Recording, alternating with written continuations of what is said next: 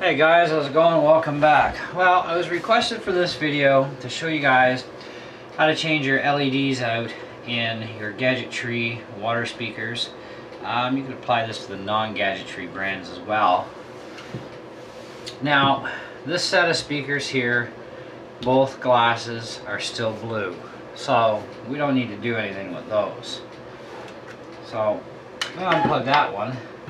Now this one here actually has the green syndrome. Okay.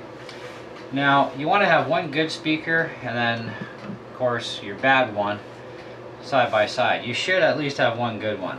Um, but looking down at the glass, look directly into the LED bulbs and see which ones are the brightest and which ones are the duller ones in your good one and, and same goes in your bad one now in this one here, I can tell that the blue one is almost burnt and the green one is getting there. It's still got about, I'd say a little bit better than 80% left. And our orange bulbs are sitting about the same. And our red looks like it's okay too. So it looks like we, we just really need to do the blue one and I'd probably do the green one too just because it's starting to go. So blue and green in this one are starting to get low. The blue one's actually the lower of the two. And what happens as these LEDs burn is the coloration of your liquid inside changes. So they just don't look right together you know, it just, ugh, you know. Eventually they'll both look the same. You know, they'll have this greenish tinge or some other color to them. Um, now, if you don't have a good speaker to do this with, um, referring to this video is actually a really good idea because then you'll know what to look for by looking straight down at the glass and um, you can go accordingly with that and you should be fine. Now another way is to get yourself a pair of dead speakers if you can find a set that are, you know, somebody's selling off. And if you've got at least one blue one or both of them are still blue but the speaker's blue, you know, put up an ad, you know, try and find a set. You can strip the light bars out. Okay, now this one here, we're going to test it and it's still pre-wired. So you're going to need a battery and I, I'm using actually a 3.7 volt LiPo battery here with a JST ad, uh, adapter on the end so I've got positive and negative accessible to me. And then hook it up and then stare right at the bulbs. It's going to make you see spots but yeah, that's the way it goes and get it so that it's focused at your eyes at the brightest point. Now this one here seems to look okay. I might have a problem with the red one, but we're going to test that theory. I've got another glass here, and I'm going to hook it up.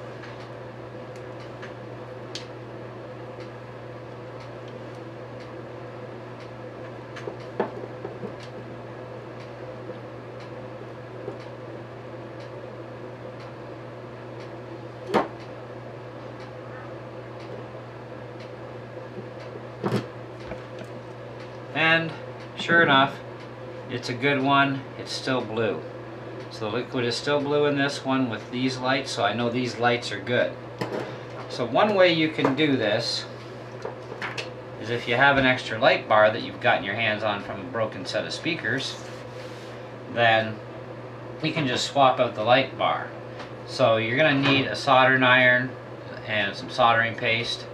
Um, if you're going to go with a direct light bar swap, you just need the soldering iron and some solder. And you're going to disconnect the wires off of this light bar here and then disconnect them off your other one inside your bad light and you'll pull this unit out. This unit is actually just put in with some uh, hot glue.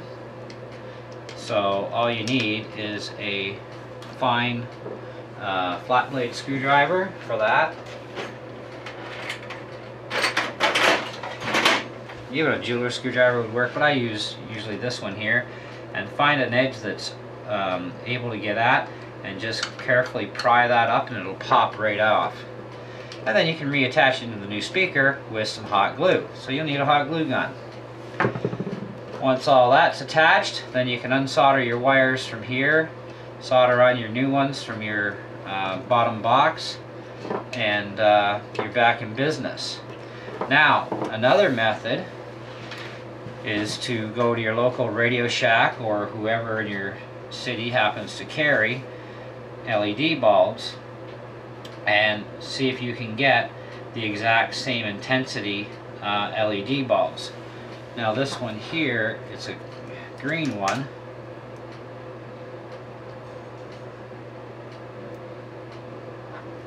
And in looking, this is actually going to be too dull.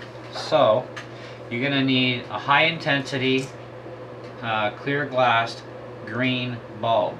Okay, if you're going to do the green, same is going to be the yellow, the blue, and the orange. Okay, you're going to need high intensity bulbs. So this one actually won't work. But, again, if you have, where'd that come from? Green, there we go. Um, if you um, have access to one of these, um, you can just do the swap and go uh, if you don't have access to high intensity bulbs. The other option is to go on the internet. Um, there's a few places on the internet that I found that actually sell LED bulbs and you want to get your hands on the brightest 3 millimeter bulbs because these are 3 mil okay and you'll need those and then do a complete set swap okay um, to do that of course you're going to have to do one at a time but you're also going to have to know which side of each LED bulb is positive and negative. To do that, you're going to need a multimeter because you've got to make sure that you get the right polarity. If you put it in the wrong direction, you fry the bulb. Okay?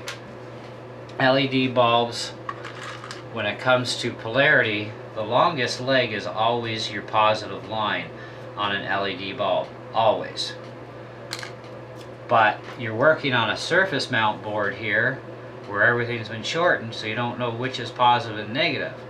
Now you know from here that this is positive on this side. So if you trace the board you can see that this side here, these two are both positive and the connecting side, these two are both positive. So you won't need a multimeter if you're paying attention to the board and you can follow the diagram. Okay, otherwise you would hook up a battery, check for polarity. Okay, um, but this whole bottom half of the board where the wires actually connect, this is all positive for your LEDs. So that's pretty simple to uh, install so it doesn't take much to do it. Um, it also shows you here a little bit of diagram. Uh, yellow goes here, green here. It actually looks orange, but it, yeah, looks orange, but they call it yellow. Okay, whatever. Um, so yellow, green, blue, and red. So at least you can get the right order back in as well at the same time. Especially if you take this all apart at once, you'll be able to get them all back into the same order. Um, but if you're having to change them, again, once you're done changing the bulbs that are bad or changing all four, squash that back down facing the same way and just run some fresh hot glue on either end piece or if you really want to keep it in there, you can run it right across, you know, and that'll stay solid and it ain't gonna come out again. But um, that's the basics on how to do that. Now, as far as getting your speaker apart,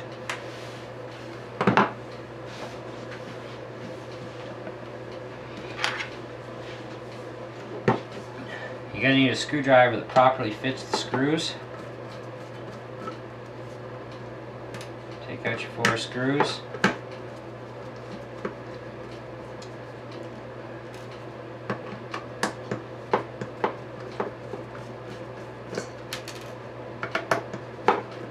Probably should have done the speaker part first, but yeah, you, you guys will get it.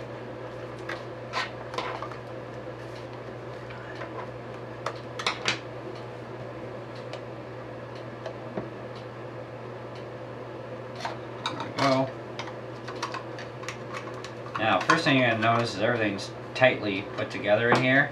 So just pop your cover off and then just pop this way. That's going to allow everything to come out. Now, the first thing you're going to notice is your wires for your LED board, they're soldered onto another board here. This is why you want to unsolder them from here. Take those off and then that allows you free run at the board. Now this is a bad speaker anyways, it's green. So I'm going to show you how you pop this thing. So I'm going to take this one and just pop it that easy. Some of them are a little more stubborn, but this one came out easy. Okay? And it still has your motor and everything attached. But if you desolder the wires first, this is going to save you a lot of hassle. So when you put the board back in, you put it back in so that the connectors are facing this way and then you can just reach up a wire, solder, reach up the other wire, solder, done. And it's already glued in place so you don't have to worry about it flying back at your face while you're trying to solder it together. So that's a pretty simple, easy way, straight board swap. If you're not doing a board swap, I would still desolder it anyways from the board and then it makes it easier to work on the board to get these out. Now, if you have to take these out, there's the next little bit of fun. You may or may not need a solder sucker. And in the event that you do, well, you're also going to need, unless you got a buddy with you, a set of these helping hands. And I like to just clamp it in just like that. And you start with the first bulb. Now you could do this without a solder sucker, if you're if you're really good with it and you grip the bulb firmly pinch it between your fingers heat the two contacts at the same time as you're pulling down at it and pushing up on the board with your fingers same time. It's kind of a tricky maneuver but you can do it. And then you can just lightly touch so you don't overheat the board because you don't want to do that. And you can pop the LED out pop the LED out and then switch the board around pop the other ones out. Very simple easy to do okay and as long as you didn't make a mess of your contacts you won't need a solder sucker to clean up anything. But if you did solder sucker clean up the contacts okay? Put your new bulbs in boom boom boom boom. You already know the positive runs along this side where the wires attach. So these are all your positives. So with your bulbs leave the legs on. First do not cut these off until after they're installed okay? And this is where the soldering paste is going to come in handy too, because you're going to put these in to the socket, and then you're going to take a Q-tip with a bit of soldering paste and just put a little dab on each one so that the solder will um, bond to the metal instantaneously. If you don't do this, you'll overheat the LED legs, it's going to overheat the filament inside, and you're going to have a dead bulb. So be very careful and make sure that you use proper soldering paste and get them flush up to the board because you need them flush up the board for everything to fit in here properly. Okay, and that's pretty much how you do it. You know, this is a, a an explanatory thing more than anything. Um, you know, and telling you step by step how to actually do it. Um, I'm not repairing this one right now just because I don't need to um, and I probably likely never will. But um, this board here is a good board. I know this is a good board. Um, and I've got a few more of these kicking around too. But um, it's really not that difficult to do this stuff. It just takes a couple of tools that you're going to need. You know, multimeters handy, a 3.7 volt battery. You can even tie a couple of AA batteries together to make 3 point, uh, 3 volts at least, just so you can fire up the bulb, okay? Um, so you're going to need a, a, battery, some connecting wires on it, so you can make sure that you pre-test your brand new bulbs, okay? Um, you pre-test everything hooked up so you know which light bulbs seem to be the problem, you know, uh, or you can just opt out to change all four in each glass and then you're done and you won't have to do it again for a long time. Um, but you're going to need the solder sucker, you're going to need the helping hands, uh, little machine here. These things are really cheap. Um, solder, proper soldering paste. I use this uh, master soldering paste. It's for electronics. The soldering wire I use is specific for electronics and it has lead in it. I don't like lead-free solder. It's garbage. Um, you know, basics. You know, flat blade screwdriver, little jeweler screwdriver. Take the speaker apart with. Okay, and you don't you don't need a lot of expensive tools here and you're gonna need the ultra bright clear glass LEDs now those you're probably if you got an electronics shop near you um, that specializes in electronics only um, they would probably have these more than likely and um, you know you're gonna need those colors that I just mentioned which are um, read this the right way you're going to need red, blue, green, and yellow. Those are going to be your three color, four colors, red, blue, green, yellow, and they're three millimeter, okay, is what you need. Nothing bigger is going to fit. So, pretty simple, pretty easy to do. Uh, now, to reassemble your speaker once you got it all back together, I'm not going to glue this thing back together because I don't need to right now anyway, but Make sure that your front of your speaker faces like this.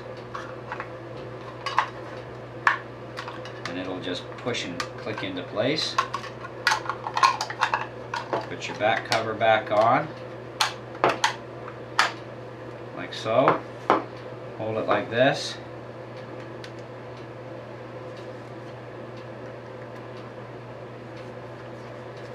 And then just start putting your screws back in.